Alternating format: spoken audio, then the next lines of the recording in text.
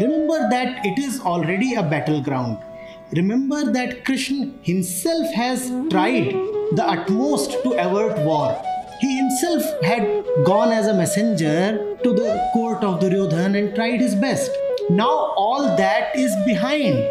Before war, the right action is please try to prevent war. War means a lot of suffering. On the battlefield, now you cannot act like a peacenik. Now you have to be an eagle, not a dove. Now you must fight. Thank you for joining us today, sir. Uh, so my question to you is that in a lot of your talks and even now, uh, you redirect our focus towards ourselves as living beings. And as living beings, all of us seek contentment and happiness. So my question to you is, how does one be content without being complacent? How does one achieve that? Contentment without complacency, without becoming complacent. See, complacency can be there only when you have just not uh, bothered to inquire into the facts of your life. Otherwise, it is impossible to be smug and ultra confident about your state. None of us factually are in a great state internally. Hmm? It's an unfortunate fact, but a fact is a fact. So, so there is sickness and there is incompleteness and there is dissatisfaction and, and, and there is psychosis and, and we are anxious and we are afraid and when the, when the uh, placement season comes, then we are jittery and when, when the next fellow gets a higher pay package, uh, then we are jealous and we know all these things are there. And knowing all these things, if we still certify ourselves to be internally healthy, hmm, then there is something very wrong with uh, our uh, compass of honesty. No? Either that or we are so afraid that we just do not even want to inquire within. Am I okay? Why did I just start trembling? I mean, standing in front of that interview room. Hmm? let's say it's a day zero company and, and, and, and I suddenly find myself uh, weak in the knees and uh, shaking in my trousers. Why is that happening? And it's a very real happening. It's actually physical. You can't even say that it was inside, so I didn't see. It is there in the body. You cannot deny its presence. But having seen all that, if we still want to insist that we are happy and this and that, then there is a great problem. Hmm? Now, coming to contentment. Contentment is just the very last thing. At your stage in life, as a young person, you should have a lot of dissatisfaction. Lot of dissatisfaction. Because if you settle at the point you already are, inwardly, outwardly, within, without, then you would be settling at a very suboptimal point. Your potential is far higher. So there is no point talking of contentment at this stage because being what we are at this age and stage, we do not even know what contentment is, so we are bound to misinterpret it. So leave contentment for a, for a later stage. At this point, rebel and rise. See what confines you and do not accept it. You getting it? Fight it out. And do not bother too much for the result. If you have given a good fight, then the word contentment can probably kick in. In the sense, I did the utmost I could. Beyond this, it was, it was not possible for me to do anything. Honestly, I say that. There is nothing that I held back. I gave the fight more than what I had. Now you can probably be contented. But contented not in the sense that the fight is over, contented in the sense that now you are ready for the next and bigger fight. Right? Final contentment is final deliverance. It is liberation actually. So do not talk of that. Hmm?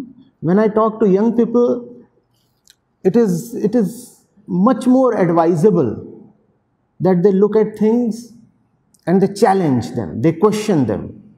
And believe me, and you need not actually believe me, you see this thing with your own eyes. Much in the world today needs to be challenged and demolished. Do not be easily satisfied. Just do not be easily satisfied. Hmm? Thank you, sir. Sir, and there's this follow-up question which I already had, and you touched upon that topic about the outcome, not bothering more about the outcome. However, sir, we're actually driven, we're living in this outcome-driven world, goal-oriented, outcome-driven work. So how does one achieve that detachment of giving their best while at the same time not focusing much on the results? No, no, it is not, it is not detachment really. I would say you have to be in love with your with your with your war, hmm? your action. Hmm? If you're challenging uh, something, if you have taken up an enormous project, be in love with it. Hmm? I'm not talking of detachment, you see. I'm talking of love here. Be in love with it and give it just everything that you have. For that, you first of all require the work to be that enormous and that lovable. Hmm? In anything that you enter, in anything that you take up, the, the quality of relationship must be so high that you are that you are encouraged to, hmm? that you are you are you are left choiceless in that regard. You cannot hold yourself back. You will not say, now it is 6 p.m., so I must get up from my seat and leave. Or that in this task I was supposed to contribute only so much and no more. Give it all that you have, and once you have given it all that you have, you will find that you will be left with very little time, space, or energy to bother about the result. See, bothering about the result is an energy intensive affair, is it not? You may take three hours just preparing for an exam, and then you may keep worrying about the result for 30 days worrying, brooding, thinking about the result, all this consumes a lot of our lives. Now, if you are worrying about the outcome, I would say, why do you have spare time at all? Why has this time firstly not been utilized in the action itself? And if you would say, well, the deed is done, now I have spare time, I will say, then what about the next and the higher deed? why are you squandering away even one, one moment of this uh, precious but limited life? How come you have the, the time? Right? So, when one is madly in love, when one is intensely in action, then outcome becomes immaterial. Not because one is indifferent or detached. No, it is not a case of detachment it is a case of intense love. I gave everything that I had. Now it is difficult to differentiate between uh, defeat and victory. You could say the, the one who could differentiate between these two, the one who could be affected by the outcome, is left with nothing to be affected with. He held back nothing. He gave everything that he she had. You see, think, think of think of a six-hour Wimbledon final. Think of a six-hour Wimbledon final. Huh? or a seven hour match. We have had matches like that, right? The loser, believe me, does not really regret that match. I have read of champions, Grand Slam champions, who, when asked about their most unforgettable match, would not talk about one of their Grand Slam finals or semi finals. They would talk about one match that they fought and lost. No, that is one match that, that they cannot forget. That is one match that, that brought life to them as never before. Because that was the thing that drained everything out of them. And finally, when the winning shot was played, neither side could differentiate between victory and defeat. As a spectator, you would mind who held the trophy, no? And only one of the two parties is now carrying the trophy. So you would say, oh, well, Nadal won and Federer lost. But ask them who have just uh, you know, played a five setter that extended up to six hours, seven hours. Hmm? Ask them, and they, they say, Well, this is my most unforgettable match. I do not remember who won and who lost. That is something I won't remember. And the match I cannot forget.